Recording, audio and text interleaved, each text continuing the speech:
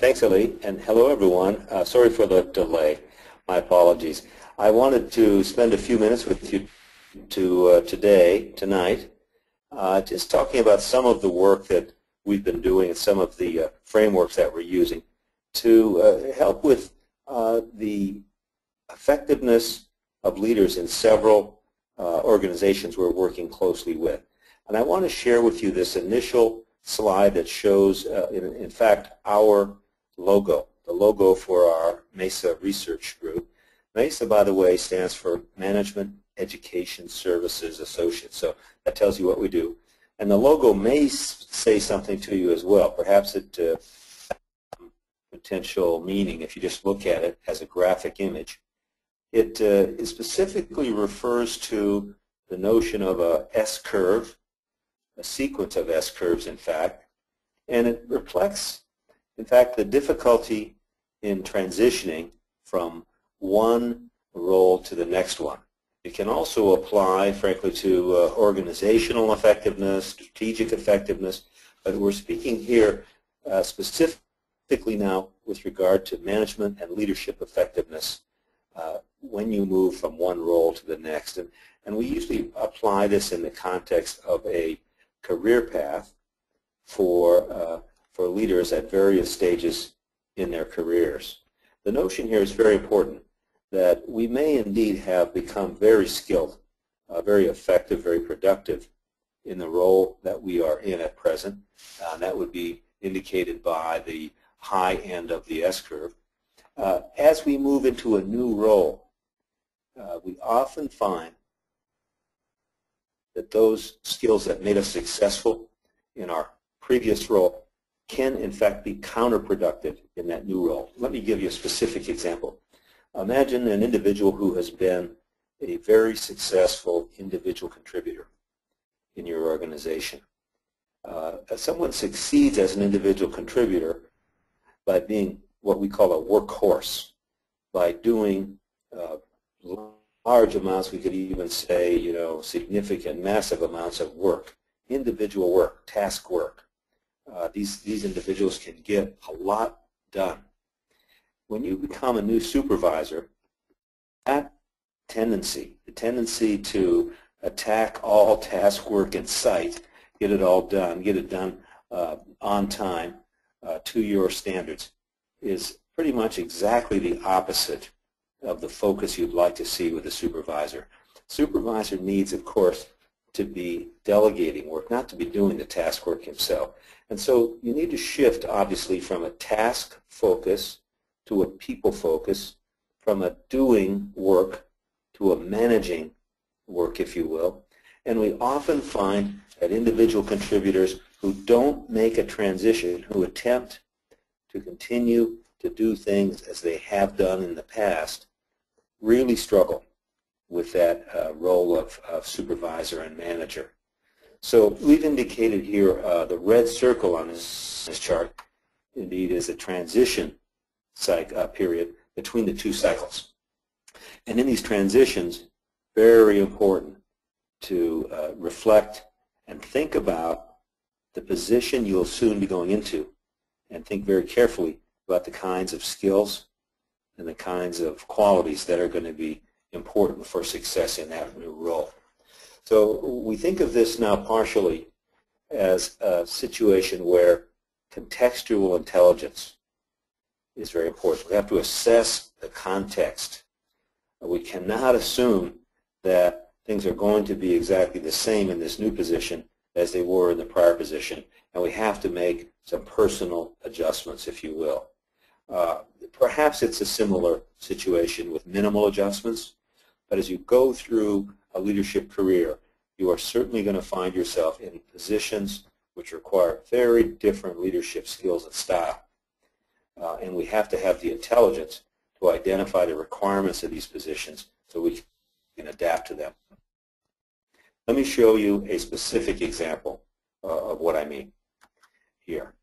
Imagine now moving to a new position. Here's one dimension of that new position we, we want to think about.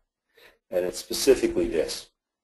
Uh, let's look at this new position very carefully from one perspective for a moment. That is, uh, how much knowledge and competency do I have myself in this new position?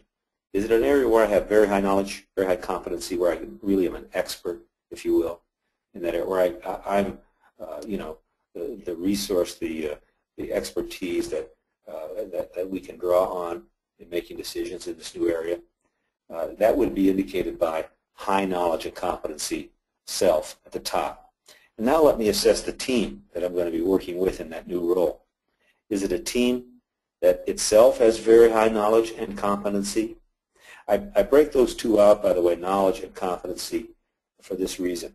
Uh, competency you can think of in a general sense as well as a specific sense here. Knowledge specifically relates to this area that we're going to be working in. So you might have a team that is very knowledgeable of this area and very competent in this area. And it may also be important to think of the team as being high knowledge uh, and high general competency. So we'll talk a little bit about that as well. Now, let's assume we go into a situation where we have now uh, not very high knowledge or competency in this specific area. So we're moving into a new area, in fact, an area we don't know too much about. Fortunately, however, we uh, are able to assess and determine that the team we're taking over as a manager has very high knowledge and competency in this area. That's a very positive situation, obviously, but uh, sometimes difficult for a manager who's coming from an area where they, in fact, are the smartest and most competent person in the room. All of a sudden, you're going into an area where you have very limited knowledge about the uh, activities of the team and very little specific competency about that area. Now, thinking about that, what we would suggest here for starters, the lower right-hand quadrant of this chart, in that situation, we would uh, certainly emphasize the importance of personal, of building personal relationships. Very important in this situation because you're going to be relying on the team uh, for information, for knowledge, for decision making, or at least supporting decision making, and for getting things done. So in this case, personal relationships are going to be particularly important and probably the first thing you would focus on in some depth, perhaps more than you would otherwise in this type of situation. In this role, you're going to be both learning or primarily learning and leading. But it may be difficult to use a traditional leadership style when you don't have the expertise, you don't have the knowledge and the specific competencies to draw upon. Therefore, the leadership style recommended here is one of facilitating the team, drawing upon the knowledge of the team, the skills of the team, and facilitating team decisions and team actions so that you'll continue uh, to perform well while you learn all you can about the business. This is a, a, a very uh, experience that all of us are going to have at some point in our leadership careers, right, to go into this type of situation uh, where we don't know very much. Uh, you may want to anticipate exactly how to be most effective in that situation. Look forward to any questions as we go along, by the way. Wasn't sure about the format I'll leave for questions. We'll leave some time at the end, but if there's an opportunity for questions uh, in a bit here, we'll take that. So uh, talk a bit about yeah, I yeah, think we, I think uh, Bill, you can go ahead in a uh, in a one stretch, and we'll take the questions in the end once we finish it. Okay, good. Thanks. Um, so let me then talk a bit about the uh, upper right-hand box in this in this uh, in this uh, matrix.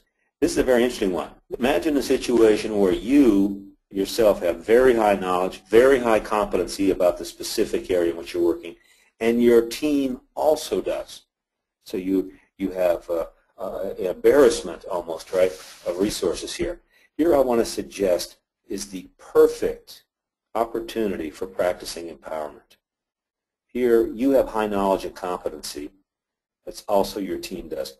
This is a situation where you may want to shift from a model where you have made all the decisions because you have the highest knowledge and competency to one where you're allowing your team, in fact, to make most of the decisions.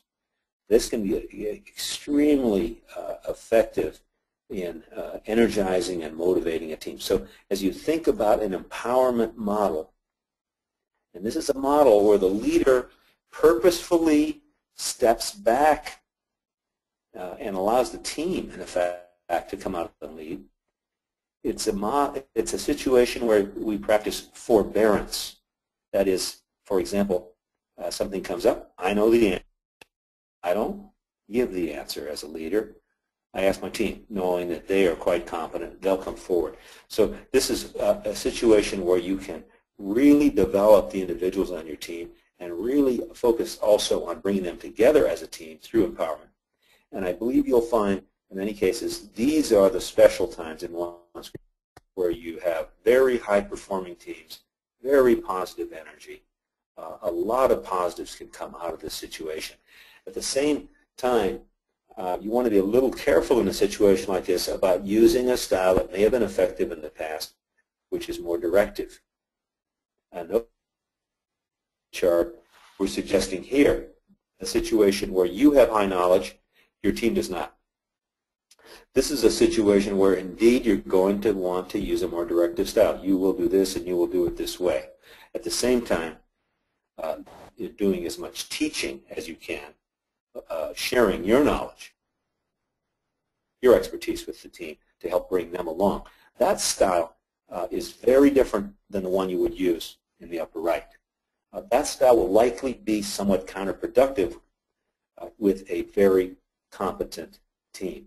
Necessary for a team of individuals who don't have the same level of competency, don't have uh, the knowledge that you do. So again, think about how your style needs to adapt based on these different situations. As you go into your next role, think about how that new role fits into this quadrant. You're going to have to think about your team and yourself and then how your style will best be uh, calibrated to maximize your effectiveness. Let's mention just briefly the lower left. You go into a situation where you don't know much and your team doesn't know much. Hopefully you don't go into those situations. You know, try to avoid that if at all possible, right? So you are starting off without much knowledge uh, or expertise, and your team also. I've seen this. We've seen where we have a, a new manager coming into a team of new hires uh, in a role with, with, without any any experience or expertise, and it can be a disaster. It's really tough on the on the manager, on the leader. If you find yourself in this situation, or even partially in this situation, you must seek outside help. You don't look to your team, obviously. You've got to seek outside help. Maybe there's a parallel team. Maybe uh, it's a mentor. Maybe you have to go outside the organization, but you've got a big challenge here. Obviously, uh, to bring yourself up to speed as quickly as possible and uh, then work on developing your team. So that's uh, one view. That's just a single dimension, but what we're suggesting here is very important to understand the new role you're going to go into and adjust your style accordingly. This is very important. There's another key point here we want to be thinking about as you're moving into a new role. Let's think of it this way. Who am I working with is very important. I hope you can see this, uh, this graphic. And as you look at it, look carefully at it because it's designed to mention to make a point. Uh, we have to be thoughtful about who it is we're working with and how we can best interact with them to be effective. I hope you see the two faces. Do you see them? There's one looking straight at us, and the other one is a side view. And so this is just a simple graphic to help us remember we have to be careful about preconceptions, about perspectives, and thinking about who we're working with. This is particularly important should you be making one of the typical transitions that most of us are going to experience, and that is moving from a position of being a local manager, largely working in a single country, in a single culture as a manager, to someone who's working in a global matrix organization in a global team, uh, you know, with third parties, you know, where you begin to bring in some of the uh, some of the diversity that we see in any global organization.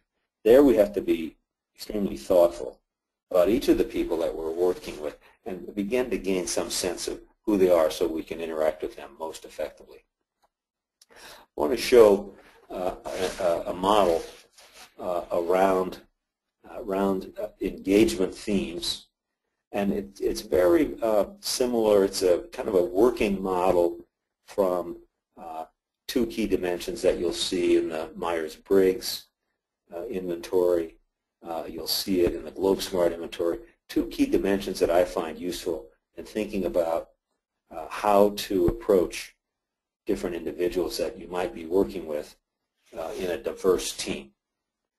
And this model is one that I think you may be familiar with, but it talks about uh, two key qualities, uh, the uh, vertical one here, extrovert and introvert qualities, and the horizontal, rational and intuitive. And as we look at this, I want to say that uh, I spend most of my time working today. Uh, my primary client is a large integrated uh, global oil company, and roughly 70% of the people in that organization test profile into the lower left quadrant here, uh, the, the rational and introverted uh, personalities. This is uh, not atypical of uh, engineering function, by the way. As you think about this, as you're interacting with people of this sort, really the most important messages, the most important hot buttons, the themes that we want to engage people around tend to be the ones right here that we've listed on the page. Uh, integrity, uh, uh, of process, integrity of operations, quality, uh, excellence, again, of operations. these kinds of themes may also, of course, be relevant for an audit function, if you will, quality control, you know, a variety of different functional areas you would tend to see this type of mindset. And what I'm suggesting we need to do, uh, we need to identify the kind of people we're working with, make sure we understand what's important to them, and then try to engage them around those themes. Uh, a very important one, I'm in Asia uh, at the moment, a very important set of themes in Asia in particular is the lower right quadrant in this chart. I think some of you hopefully will uh, uh understand what I'm getting at here. There are organizations, there are cultures, there, there are functions where togetherness, where the bonds that hold groups together are really the most important thing in organization life and, and, and in life in general. So these are these are people who, uh, who whose philosophy would say, I don't care what you know until I know that you care. You have to build personal bonds, respect for the group, uh, uh, be able to uh, be accepted as a group member, and then have the highest level of respect for that team, for that group, as a group. That's your first task in working with people in these categories. I find many operating teams, many field teams, operations, really fall into this category. It depends to some extent on which national culture we're talking about. Certain Asian cultures in particular are very strong in represented in this quadrant, and especially in the, in the field operations and operations manufacturing uh, areas. The upper right-hand quadrant is the fun one, one of the fun ones, uh, and we normally associate this with, uh, with the sales and marketing organization. These are folks who really respond to this notion that we are going to do something special as a team. We're going to make history. We're going to create a legend we're going to achieve the extraordinary. Uh, a lot of fun, frankly, I find, to work with people like this. There's a lot of energy here. If you can tap that energy, if you can uh, get it focused, uh, sustain it, uh, really remarkable things can happen. Over on the far left, these are the bankers, the finance guys, uh, and uh, the messages there are we're going to win, we're going to beat the enemy, we're going to make money, and we're going to do it this year. All right, those are the kinds of themes. Let me show you how one great leader that I know uh, uses this model to engage the various parts of his organization in a very special way. I want to ask if you wouldn't mind just to ponder, uh, uh, has anyone in the room uh, been through the Delhi airport in India prior to 2010? No, we probably can't take the answer, but uh, just think if you have, think about the Delhi airport pre-2010. And then I'm going to ask if anyone's been in the Delhi airport in the last two years. And hopefully one or more of you will say, I, I can say yes to both. I was there before 2010 and I was there in the last two years. The reason I make that point is that Delhi in the year 2010 was ranked 124 out of the top 125 airports in the world by the IATA, the International Aviation Transport Association. Uh, essentially the worst major airport in the world. I'm not sure which the worst one was, 125. There was one worse, but it was it was the worst I have experienced. Let me put it that way. Uh, however, last year, Delhi was voted the second best airport in the world after Singapore. It's an extraordinary story, and the executive who led that effort, his name is uh, Bangalore B.S. Shantharaju, very impressive individual. Uh, I spent a week with him to uh, try to understand how he achieved uh, the impossible.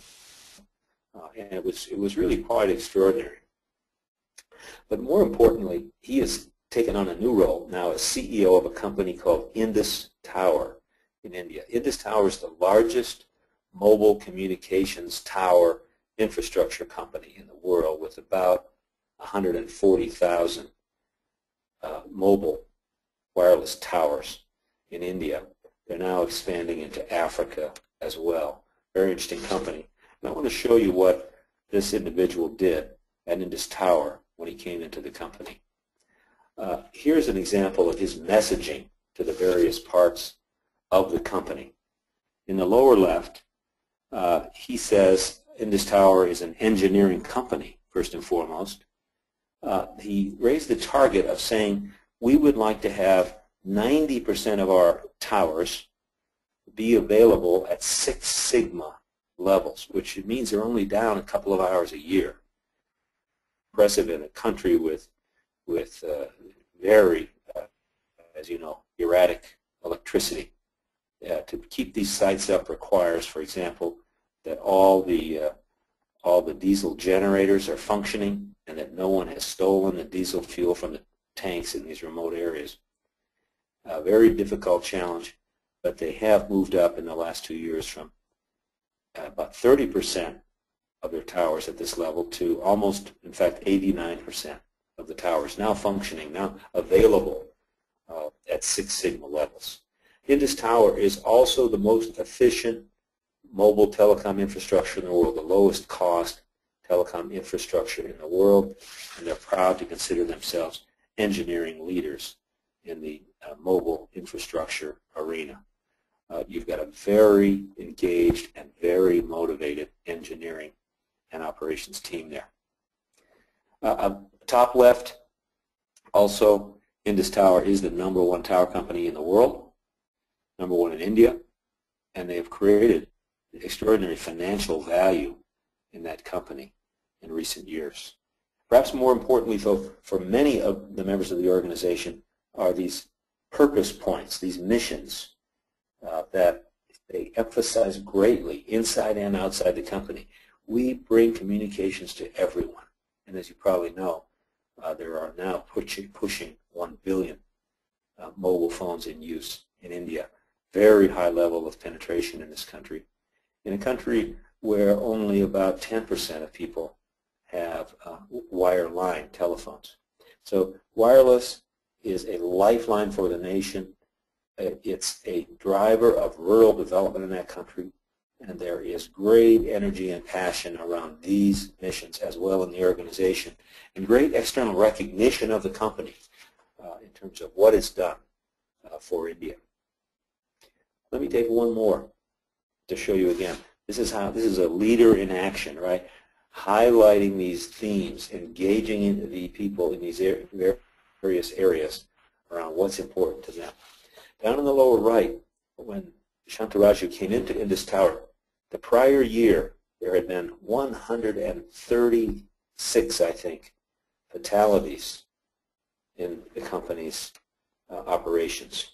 Remember, they've got 140,000 wireless towers. There's a lot of high-rise uh, steel construction and uh, service servicing and maintenance requirements.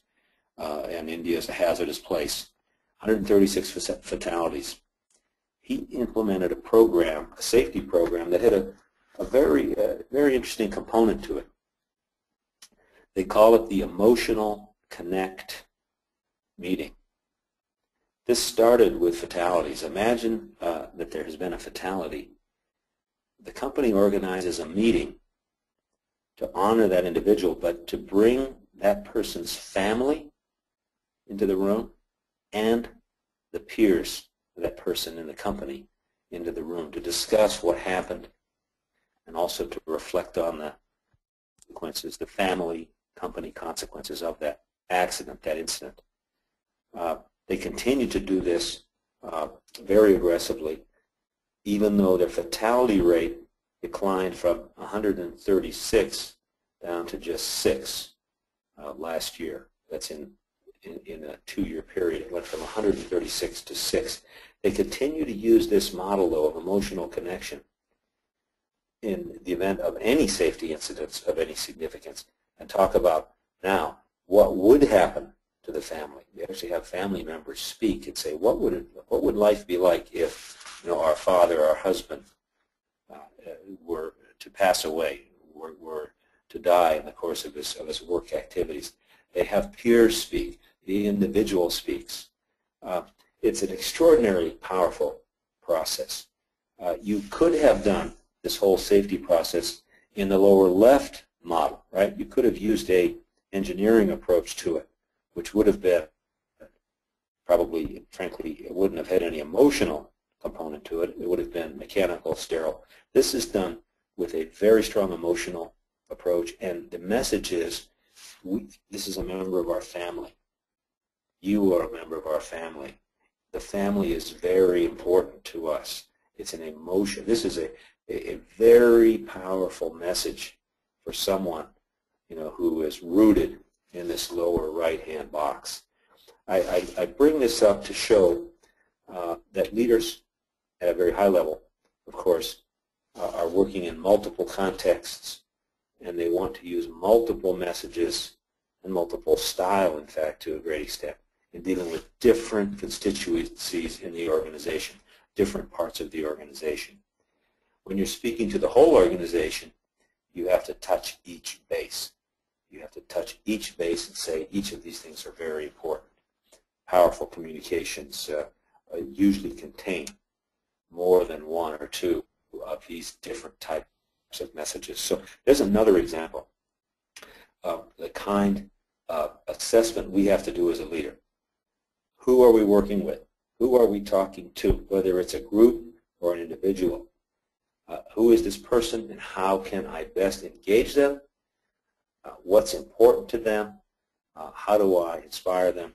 These are the kind of messages that are most important for leadership effectiveness.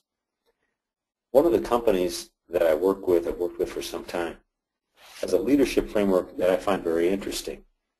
They list six qualities of successful leaders in their organization. The first five are very typical, frankly, integrity, people focus, customer focus. The sixth one is unique. Never seen it anywhere else. They say, we want leaders in our organization who are lucky. Lucky people. So I asked the head of HR, what do you mean by lucky people? Well, there are certain people in our company we've noticed, no matter where we put them, good things happen. Everywhere they go, good things happen. Therefore, they are lucky. I hope you'll see the, the real message here. That is, uh, we make our own luck to a very great extent, don't we? Uh, we call it luck because we have a hard time specifically identifying the skills and qualities of really effective leaders. What I want to suggest to you is in what we're describing here, we begin to get at some of those skills and qualities.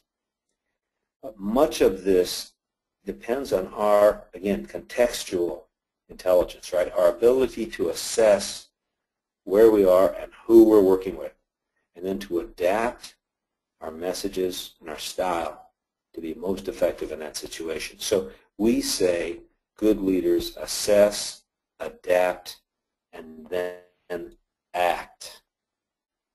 The bad leader is someone who we call a, a hammer who only knows nails. Right? I'm a hammer. I only have one style. Wherever I go, I'm going to hammer the nail. That obviously may work in some situations, but it will not work in all. Good leaders, especially as we move into the global marketplace, right, have to be able to assess and uh, we talked about a couple of dimensions we need to consider as we're doing our assessments. Of course, specifically in the global arena, we have to be very thoughtful about working with people from other cultures. That's not an appropriate topic for us this evening. Uh, probably would be the, a, a, better topic to be had in itself if you haven't done so already in talking about the ability to work effectively across national cultures. But I would just point out as you, as you look at some of these cultural issues, they're also relevant when you're dealing with people from your own culture. People prefer a direct style, some prefer a more indirect. If you're talking with someone, you know, from Japan or Thailand or Indonesia, uh, direct style will not work. You better adjust your style, obviously, to the needs of that local, the, the preferences of that local culture. We also find that uh, trust uh, dynamics differ from culture to culture. Some cultures are much more open and ready to trust someone, and others really trust is difficult to, to earn. Uh, it doesn't come immediately. It takes some time. That's very important. I would say quickly again here, there's, there's much more that could be said on this topic, but uh, whether or not it's part of a national culture, many organizations, parts of organizations, display uh, kind of a balance between do, getting things done through formal processes versus personal relationships. You may have thought about this before. Some companies, really it's all about formal processes. And in others, you must, in order to get anything done, must have very significant personal relationships. It's a very important point. Uh, we need to understand this, obviously, in any setting we're in. And, of course, uh, the importance of, of relationships always significant, but in some settings it's essential. It's really uh, the most important thing. And therefore, uh, successful individuals will be those who are focused on and hopefully good at creating and maintaining a significant set of personal relationships, personal, professional relationships. Uh, that's important anywhere, but uh, in some areas more than others. We can talk a little bit more about this, but I'm going to just kind of pull a few more thoughts together here and then uh, would like to uh, turn it over to you for any questions, comments, observations, anecdotes, uh, whatever you want to share. So, so let me finish up with a couple more ideas and then we'll turn it back to you. I want to I put the word pace up here on the chart because uh, in, in my career I've spent probably more time uh, with IBM Corporation than any other company. It's a very interesting company. It's a company uh, dominated really by that uh, upper right-hand culture, uh, the sales and marketing culture. Very interesting place. Uh, a very good probably the world's greatest sales organization. In doing their research on sales effectiveness and sales uh, leaders' effectiveness in the company, they found something very unusual. They found that the, the best, the most successful salesmen were those who spoke at the same pace as the customer. That was the number one differentiator the number one factor associated with the success of salespeople at IBM. They spoke at the same pace. What that means is If they're speaking to someone who spoke fast, they spoke fast. Someone who spoke slow, they would speak slow. Now, in fact, this finding is really just the tip of the iceberg. What we found is really going on is that these salespeople are carefully analyzing and assessing the customer and adapting their personal style to that individual's preferences. Pace, but message, mindset, style, being adapted to that individual. These, these sales leaders were in fact doing a good job, as we see below, of assessing the individual they're working with, adapting, and acting accordingly. Adapting their style, adapting the speed of speech, adapting their orientation to that situation. Uh, we believe that approach will work anywhere. The ability, though there are some skills in here, how do we assess others? How do we adapt? What style, styles do we have in our personal portfolio? How authentic are we about this, by the way? Can't you know be too too uh, mechanical about it. But uh, you know, are we able to develop these kind of skills? Uh, and then one final thought: uh, it is really important to distinguish between vertical styles and horizontal styles. Vertical styles, classic, superior, subordinate, kind of you're one or the other, right? You adjust your style accordingly. That's that's mainstream management. But increasingly, of course, more and more what we do is going to be about horizontal, cross-functional, uh, cross-unit uh, interactions and collaboration. And so here, those vertical styles won't work. Neither one of them will work. Can't really be a superior in that world. You can't. You don't want to be a subordinate. You have to be a team member, a peer, right? And we find in that setting these kinds of skills around assessing individuals, adapting style, very important. Uh, very important to success. We all hear about, you know, uh, influence without authority. Well, you know, that's great, but how do you do it? I want to suggest a very good place to start is with individuals, uh, is assessing individuals, adapting styles to be engaging them, and, uh, moving from there. So uh, that's a quick summary and I want to give you just one more piece of work here to think about for those of you who might be at or approaching kind of a you know, relatively new role as a manager or a leader in an organization. Some of the things we find that, that tend to work well that pull together some of the themes we just talked about. Um, we find that questioning is a really useful style. Uh, hard to overstate how valuable, how easy this is, but it's, it's, a, it's a fundamental shift in style. Try, if you can, to uh, start some of your interactions with questions. What do you think about X? What are the, what are the things that you're working on right now? Uh, what do you think about you know, this or that idea?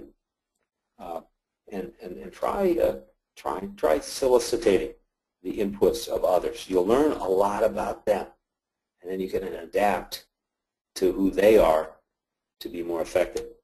Related to that, as you go up the ladder, if you will, in your career, you must be disciplined about this. You should not be doing very much task work at all. At some point, you shouldn't be doing any task work, really. You should be delegating all of it but you should be doing much, much more work on relationships and investing in relationships at, all levels.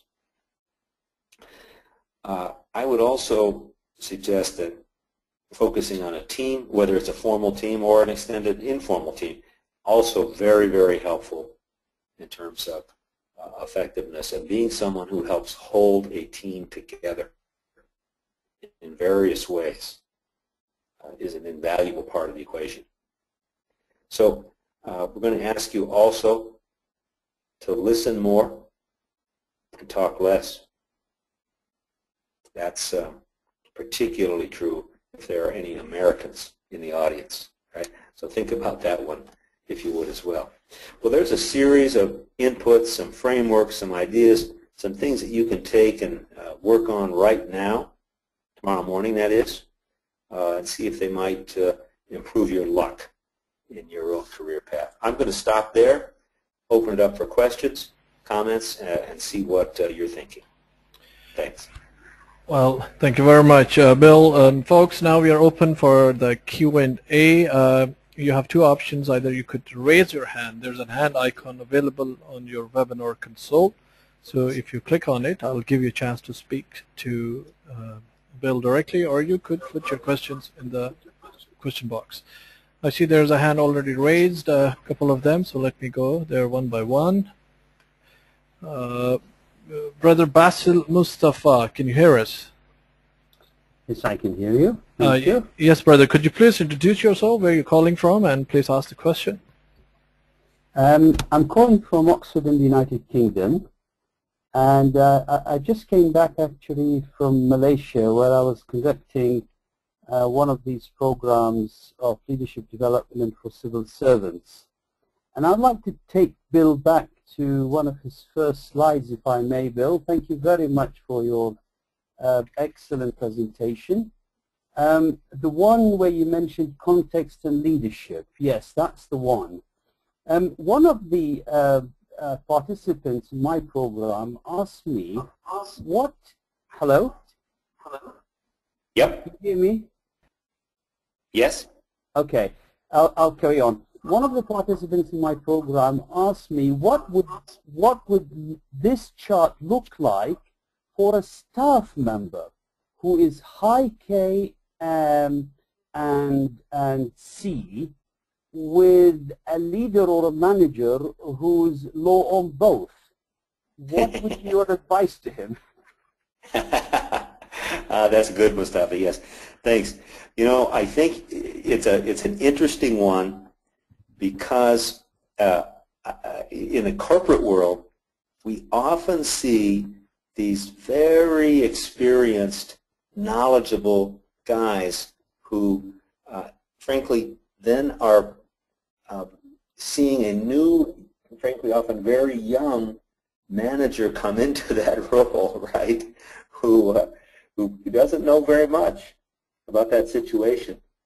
And for the company's organization's good, it's very important that, that those two individuals connect. It's very important for the, the young leader to engage that knowledgeable person uh, if there is a potential conflict there, if there is a disengagement, it could be very, very difficult.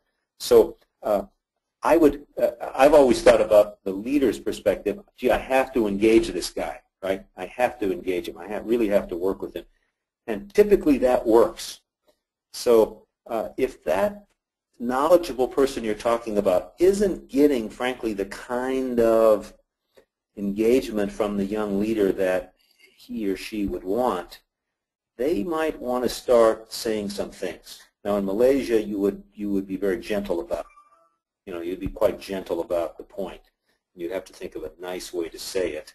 Uh, you might start by asking that individual, the young leader, some questions. What do you think about this? You know, uh, just to frankly let them realize that they don't know much about what's going on, right?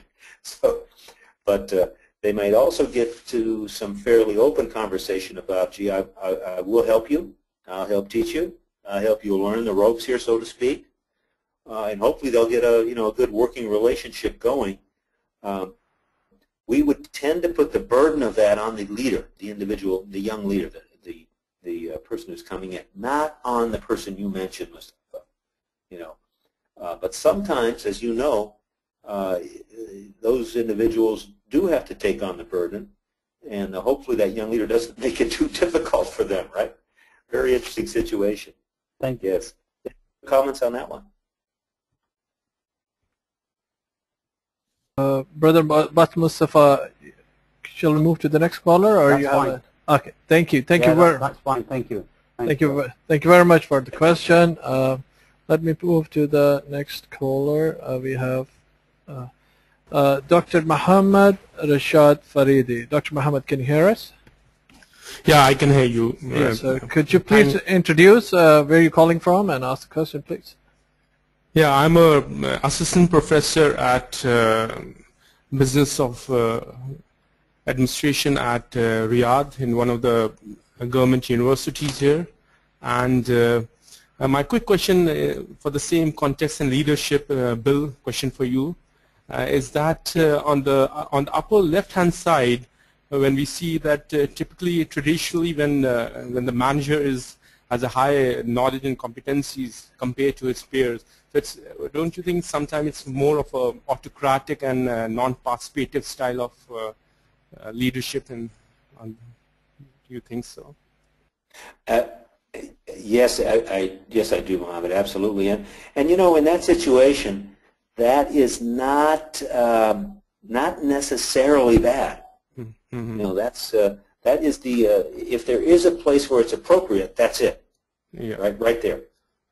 Uh, Okay. Now, Mhm. I would, however, note note that I also have on there the teaching model, right? Right. So Yeah. we would encourage that person to be developing that team. So yes, indeed, directing and, and perhaps somewhat autocratic, but you Mhm. should also be teaching and developing the team. And over time, your style should adapt as they get better and better.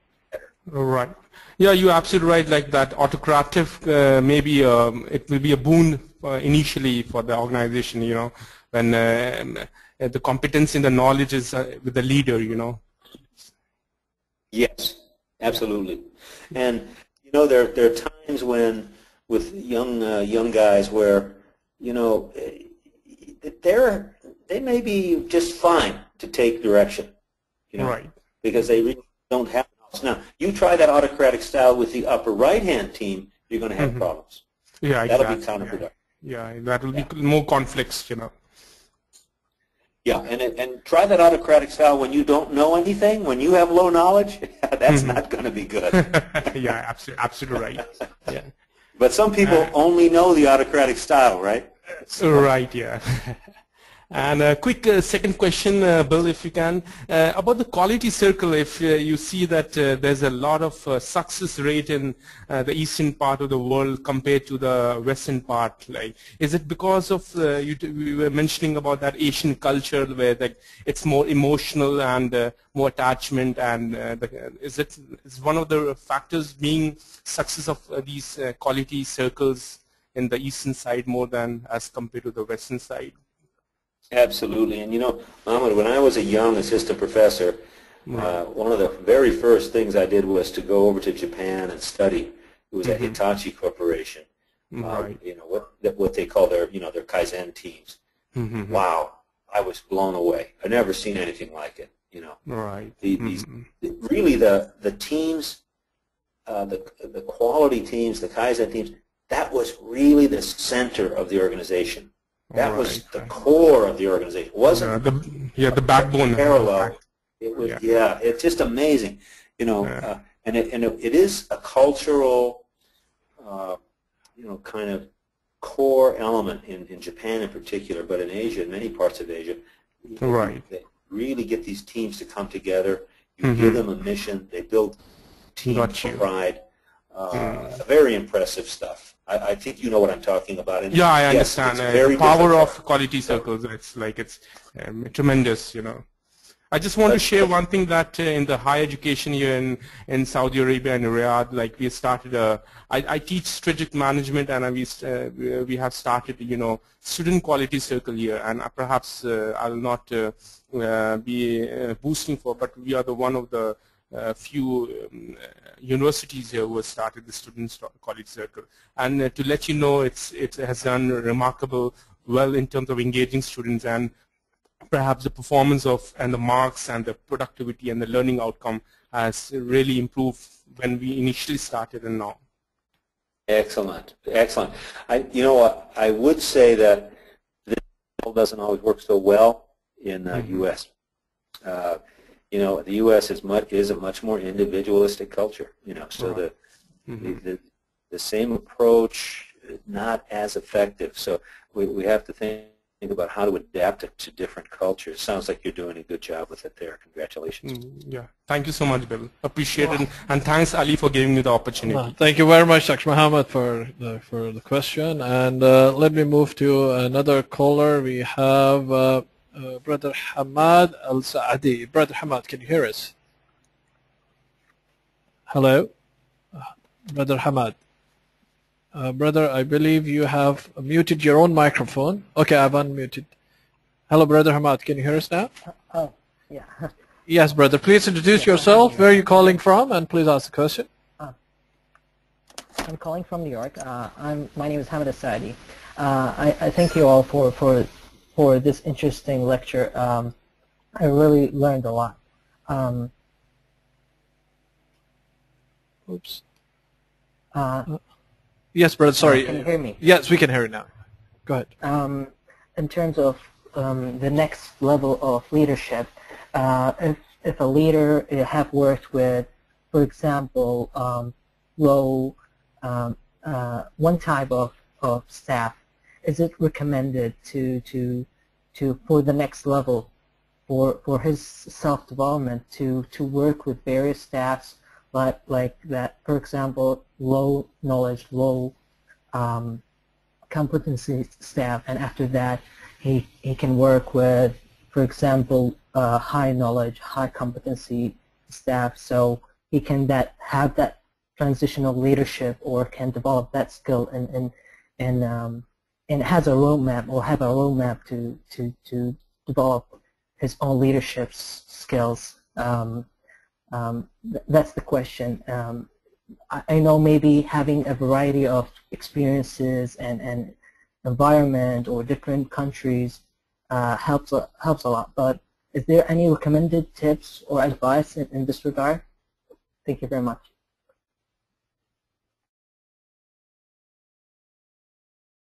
Uh, Bill, you there? Oh, wait a second. Bill got unmuted. Oh, Bill. Bill, you there? Yep, can you hear me? Yes, Yep. we can. You can Yep, hear can you. you hear me? Yes, we can hear you. Did you hear the question? Oh, good.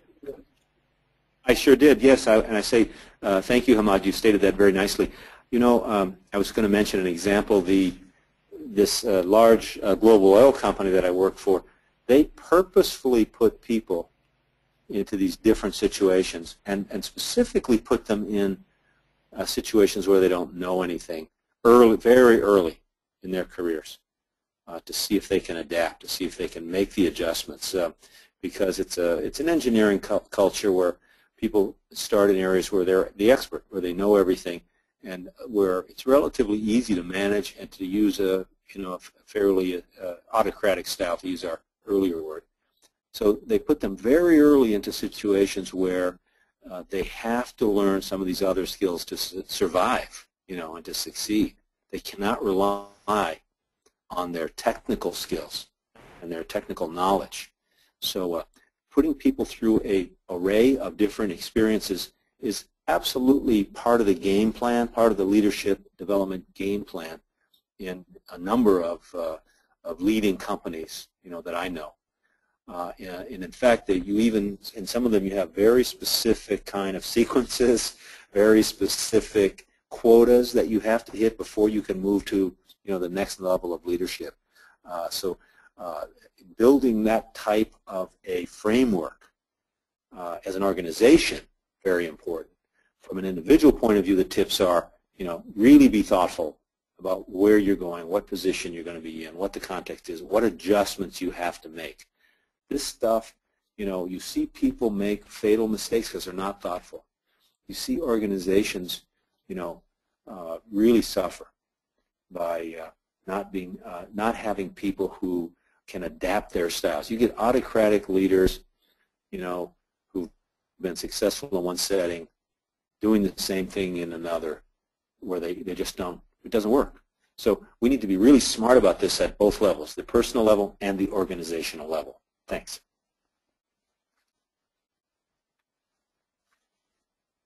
uh, Brother Hamad, for your question. Um, let me move to the question box now. There's a question from, uh, a, a rather a short one from Magdaleno. The question is, is there something as balanced leadership?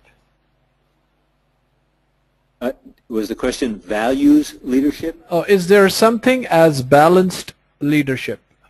So Oh, balanced leadership. Yes, uh, good question.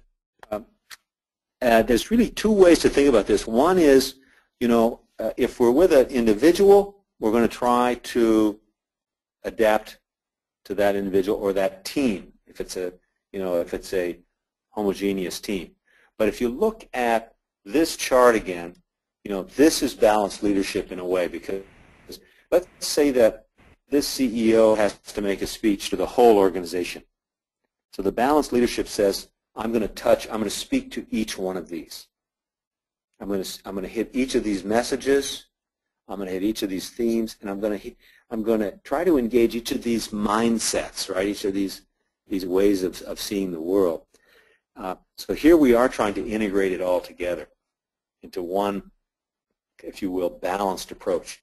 But at the same time, we're able to go into these different areas. We're able to adapt enough. Um, now, this raises all kinds of challenges, doesn't it, uh, if you're not careful, because you don't want to lose ever authenticity. But, you know, I think it's, it's, it's possible for most of us to adapt when we're with our male friends, when we're with our wife, our family, our parents. You know, we make those adjustments already. We're adjusting to, you know, these different groups of people that we work with. Same thing in the workplace. So uh, uh, balanced, but uh, having a diverse, an ability to kind of lean in one direction or the other, depending on the situation, I would say. Thanks. Well, thank you very much. Um, okay, we have another caller who has raised the hand. Let me move. Uh, Brother Murat Daoud. Brother Murad, can you hear us? Yes, I hear you. Do you hear me? Uh, yes, we can. There's a bit distortion, but please go ahead, introduce yourself and ask the question. Uh, excellent. My name is Murat Daoud. I call from Istanbul. I just started as lecturer in public administration but uh, besides that, I'm a consultant in uh, international development projects and travel a lot.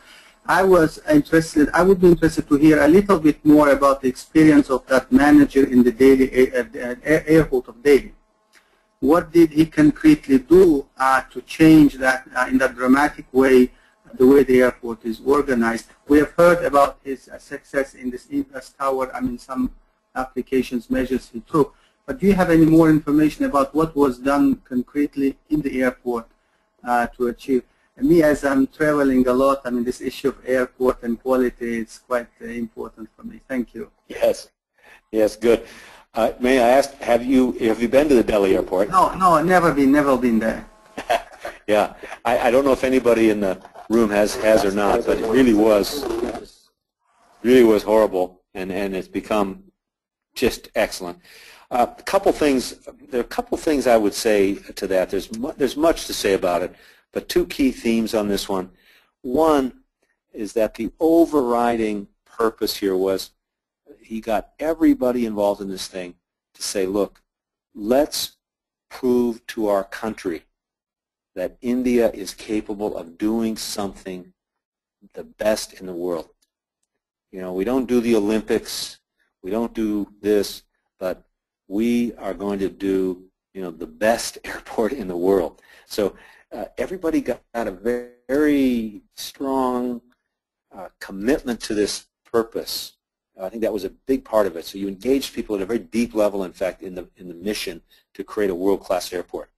Then second, more technically, uh, they, they did a very nice job engineering again of breaking down the airport into pieces uh, and then finding who was the best in the world at that piece. They literally went out and hired, uh, you know, uh, people from the Hong Kong airport, the Singapore airport, the London Terminal 5 airport to bring and duplicate what they had done there in the Delhi airport. So it was a best practice kind of a model combined with this special mission, this special purpose, I would say were the key themes that made this thing a success. Now, uh, they have set a standard for every one, every other airport, but every other project really in India to say, hey, we can do this. We can be, you know, we can do this at a world-class level. So uh, in a way, it's kind of a historic event for India, this airport. Far more important than, you know, just an airport.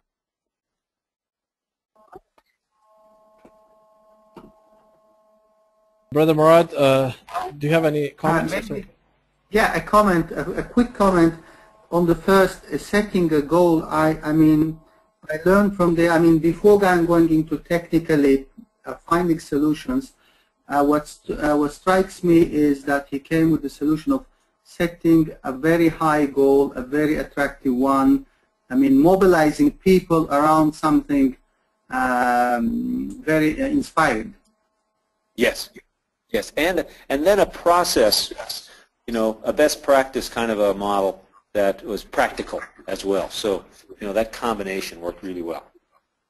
Thank you. Well, thank you very much, uh, Brother Murat, for your question. Now, uh, we have a number of questions in the question box, so let me move, uh, try to see.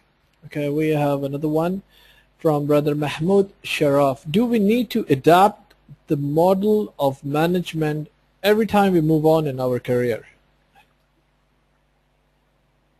Uh, could you repeat that, Ali? Sorry. Uh, do we need to adapt the model of management or leadership every time we move on in our career? Um, I think that's a good question too. I I would say the simple answer is yes. You know that every situation is going to be a bit different. Now, if it's a really incremental move, then uh, you know maybe the adjustments aren't so great, but there will be a new team of people there. So you know we'll have to be thinking about who are these people that I'm working with. So I would suggest the adjustments uh, probably going to be uh, significant each time, and, and in some cases they need to be almost a complete, uh, you know, adjustment. So we have to be prepared to drop some of our old practices that that were successful. You know, nothing harder than that, right? I, I I've been doing this things a certain way, and I've been succeeding. And uh, now you're asking me to try something that something different that I don't feel comfortable with. Right? That, that's not easy. So we find, really, I have to I have to say this that one of the qualities we look for in in new leaders in in potential leaders is the ability to be uncomfortable. Right? Is to move out of the comfort zone and try different things and try things that they're not very good at yet. Uh, meanwhile, you know, leaving some things that they're very good at. So that's a key quality, uh, the ability to be uncomfortable, the ability obviously to adapt, the ability to learn, to adjust, all those things really important. And, and I'm going to say the answer I think is yes, we're going to need to do this every time. Okay, um, thank you very much. Let me move to quickly uh, uh, Brother Umar Bharti. Brother Umar, I've just unmuted your microphone. I know you have posted the question. Hello, brother. Uh, okay, let me mute him. Uh, brother Umar had asked a question. Could you please, uh, Brother Umar, um, rephrase the question just to make sure that it has little clarity on it? Uh, let me move to another uh, question from Brother Abdul Aziz Al-Malaki. What do you think about coaching leadership style? And as per your experience, what is the most popular leadership style? Oh, boy, that's a big question. Uh, you see how valuable coaching can be here when you when you're trying to do the assessment and trying to adapt your style. Uh, it's invaluable, absolutely invaluable. The problem, the challenge here, and for most people, they have to do this themselves. They have to do it by themselves. They don't necessarily have a coach, you know, who can help them with it. So uh, if you're fortunate enough to have a good coach who can help you with this, you know, kind of, as we said, uh, frequent adjustments um, and and how to deal with the challenges of every role you're in. Uh, that's wonderful. So yes, coaching super. I think you may find uh, you have to be your own coach. You know that may be part of the story, and you may find that you can help others, junior people, and sometimes senior people, with coaching as well. Uh, you may have to adapt your coaching style you know, in those cases as well. But uh, I'd encourage you to do that. Is there one leadership style I think is best? Yeah, the one that I mentioned at the end here. Uh, I think this is probably the best in general uh, right here. Uh, what's missing from this one, though, is um, the the emphasis on um, on what we just heard from Delhi, which is uh, inspiring goals. You know, being uh, uh, being a bit of a visionary, aspirations, and engaging teams around those goals, those visions, those aspirations. So if you can add that to this, I think that'd be a pretty good start. Uh, another short one from Brother Manzur Alam. Is leadership dependent on resources and environment that it's confronted with? Oh, boy. Yeah, good question. Good question. I appreciate that question. Uh, indeed, you could take a, a very, uh, very important dimension. Here would be the resource dimension as well. Uh, I think it's not as important as the, the, the environment and the people elements of the context. You know, the, uh, the environment here meaning the business environment that we're in, the uh, people context as well. Resource is indeed very important. And by resource, I think we mean financial resources, not human resources. Uh, so I wouldn't rate it as highly as the other two, but indeed it's a factor that we have to think about very much as we uh, uh, uh create our our uh, our style for a new situation. Okay, uh, all the questions are keep on coming. Another one from uh, Brother Muhammad Ghani. What do you think about the features of Up Next Leader that you suggested have been applied in transformational leadership, which was done in 1990s? I, I uh, went in and out a little bit, Ali. Would you mind repeating? I got half of it. Yeah. Um, uh, okay, let me repeat. Uh, so what do you think about the features of an up next leaders that you suggested have been applied in transformational leadership, which was done in 1990s? Uh, not sure if I understood also clearly. Yeah, max, max leaders, is that what it was? Uh, per perhaps, yeah, this is what we are asking. Yeah. Um, I, th I think the, um, the transformational leader model uh, is a little bit different than what we're looking at right here, uh, potentially, because often we see the, the transformation leader certainly the most important element uh, in a transformation leader is, is vision, is strategy. Um, but when you look at successful transformational leaders, again, I think you'll find this engagement obviously very important. Uh, and there's a personal, there are some personal relationships, personal bonds that are, that are very significant there. We do find some people who have some natural, who are born with some of these skills. Uh, they do exist. Natural leaders do exist.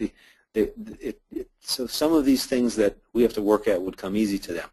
Uh, engaging people, inspiring people, motivating people, uh, uh, creating relationships. So, so, for some people this is easy. Uh, for others it's a lot of work. We have a lot of work to do to become good at it. But uh, uh, the, we all can aspire to be transformational leaders. But I would suggest, you know, transformational leadership true transformational leadership opportunities are rare. You know, uh, most of our work is not going to be transformational in the, with a capital T. You know, yes, we we will certainly make some changes and we'll have initiatives, uh, but but truly transformational stuff. Uh, you know, that's that's not uh, everyday work for 98% of us, right? So that's a style uh, that uh, I would say is not your, your mainstream or normal style. Wonderful if you get the opportunity to do it. And if you do get the opportunity to do it, then certainly you weigh very heavily on the, uh, the vision and strategy components, the aspiration components, the energy, uh, and obviously all the personal engagement. Good. We have uh, another interesting one. On adapting style.